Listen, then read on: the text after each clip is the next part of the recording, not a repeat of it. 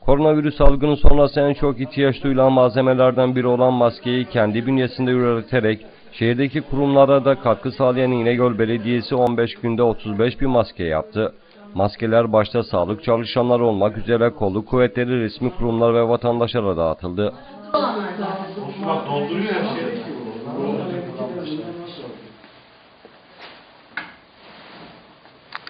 İnegöl Belediyesi çok fazla ihtiyaç duyulan maske konusunda devlet hastanesinden gelen talebi geri çevirmedi.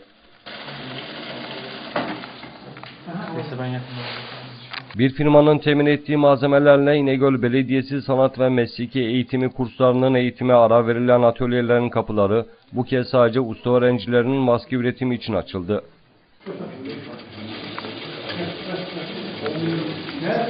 Gerekli tedbirler alınarak hijyenik koşullarda çok az sayıda kişiyle ilk etapta 5000 maske üretilerek hastanenin ihtiyacı karşılandı.